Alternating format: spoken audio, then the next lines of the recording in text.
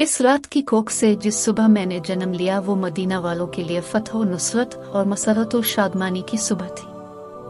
हर तरफ़ अल्लाह अकबर और खुशियों के नारे थे। सबसे ज़्यादा खुशी औरतीन और बच्चे मना रहे थे, जिन्हें छोटे छोटे कलों में बंद कर दिया गया था।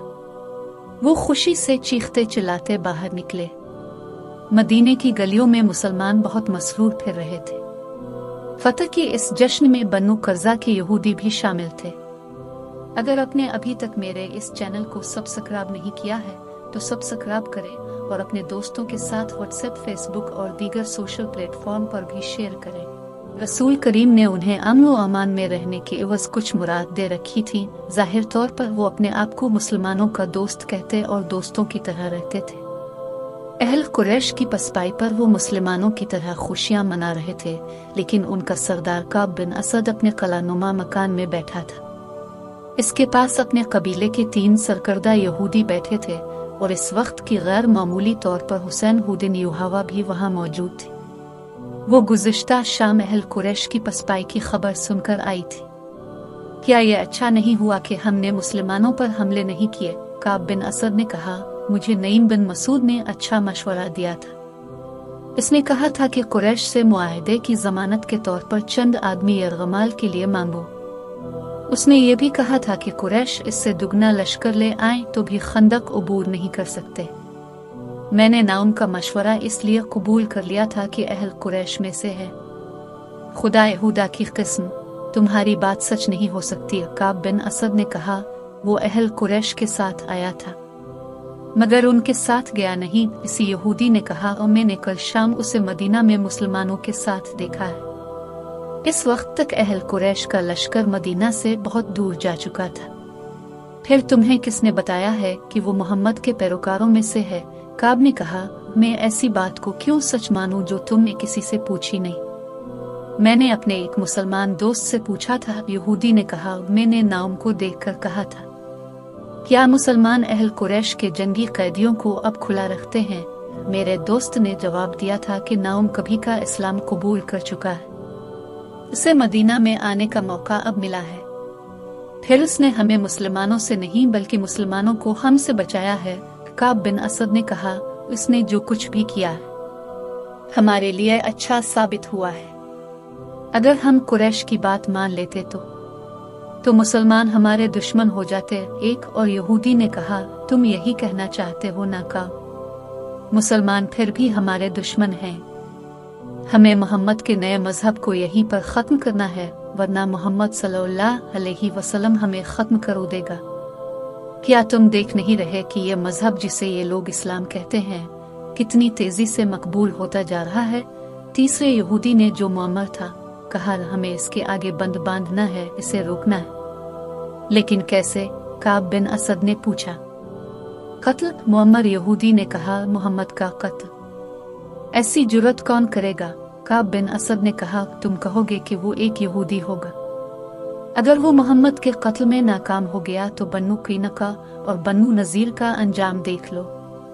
मुसलमानों ने उन्हें जिस तरह कत्ल किया है, और इनमें से ज़िंदा बच रहने वाले जिस तरह दूर दराज के मुल्कों को भाग गए हैं, वो ना भूलो। खुदाए हुदा की किस्म, मुअम्मर यहूदी ने कहा, मेरी अक्ल तुमसे ज़्यादा काम नहीं करती तो तुमसे कम भी नहीं। तुमने जो आज सोचा है वो मैं और लेस बनमोशान बहुत पहले सोच चुके हैं। कोई यहूदी मोहम्मद अलैहि वसल्लम को कत्ल करने नहीं जाएगा। फिर वो कौन होगा? वो कबीला कुरैश का एक आदमी है, बूढ़े यहूदी ने जवाब दिया। लेस बिन मुशान ने इसे तैयार कर लिया है। मेरा ख्याल है कि अब वक्त आ गया है कि ये काम कर दिया जाए। अगर तुम लोग भूल नहीं गए कि मैं बनु कर्जा का सरदार हूँ तो मैं इस काम की इजाज़त कैसे दे सकता हूँ, जो मुझे मालूम ही ना हो कि कैसे किया जाएगा, काब बिन असद ने कहा, और मुझे कौन बताएगा कि इस आदमी को इतने खतरनाक काम के लिए कैसे तैयार किया गया है? क्या इसे अबू सुफियान ने तैयार किया है?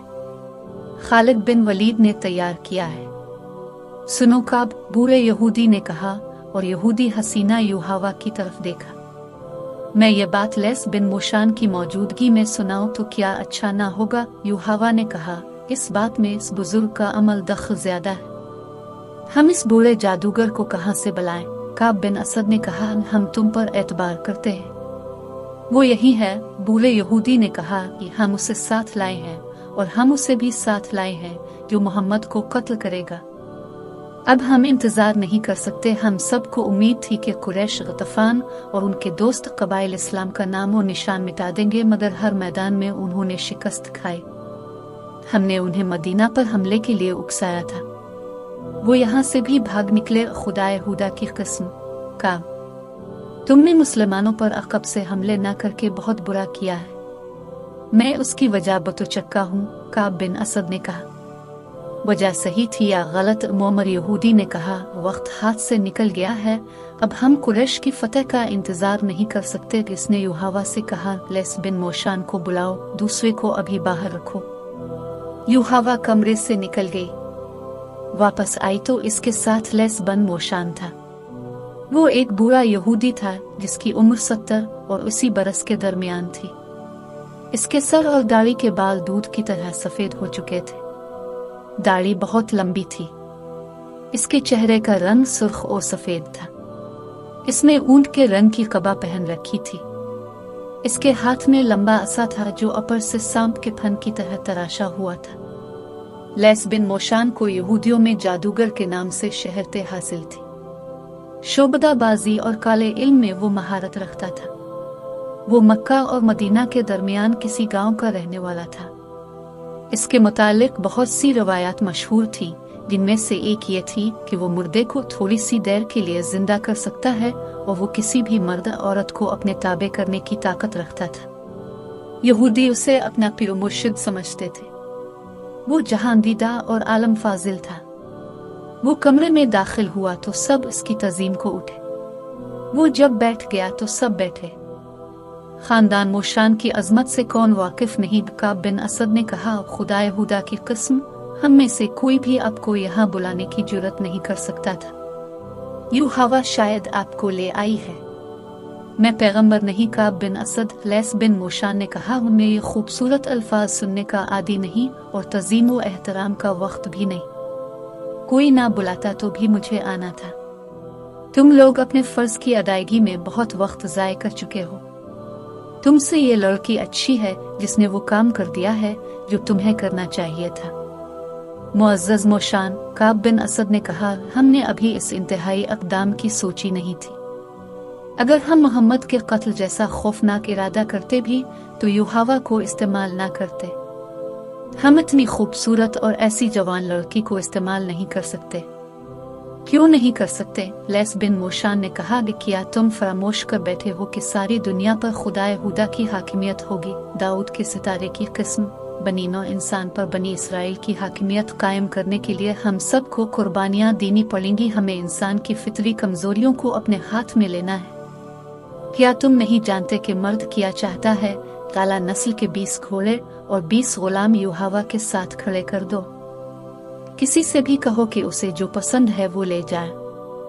दाऊद के सितारे की किस्म, वो आदमी बीस घोड़े और बीस गुलाम छोड़ देगा और युहावा को ले जाएगा। इस महफिल पर खामोशी तारी रही। मैं देख रहा हूँ कि तुम मेरी बात नहीं समझ सके, लेस बिन मोशान ने कहा, तुम्हारे दिमागों में अपनी बेटियों की इसमत समाई हुई है, मेरी बात गौर से सुनो। इसमत का शर्म हया के साथ कोई ताल्लुक नहीं। ये एक हथियार है जो हमें अपने दुश्मनों को बेकार करने के लिए इस्तेमाल करना होगा। बदी क्या है, निकी क्या है, मैं जानता हूँ तो मुझे क्या जवाब दोगे?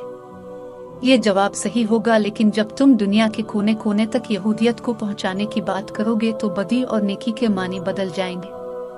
मोहम्मद बुराई और बदी को खत्म कर रहा है। हमें बुराई और बदी पैदा करनी है, मगर हम खुद बुरे और बदकार नहीं होंगे। अगर तुम रुए ज़मीन पर फैली हुई नस्ल इंसानी को अपनी गुलामी के जहन्नम में डालना चाहते हो तो गैर यहूदियों को जन्नत दिखाओ। उन्हें जन्नत की हुरे दिखाओ। उन्हें मीठी शराब पुलाओ। ये लोग बदमस्त हैवान हैं। इनमें और ज़्यादा हैवानियत पैदा करो। ये मत सोचो कि अच्छा किया और बुरा किया है। ये देखो कि यहूदियत की हाकमियत के लिए अच्छा किया है। खा वो बुरा ही हो, उसने युहावा की तरफ़ देखा और बोला, उन्हें बताओ युहावा, उन्हें समझाओ। युहावा के होठों पर मुस्कुराहट आ गई और उसने एक कहानी सुना दी।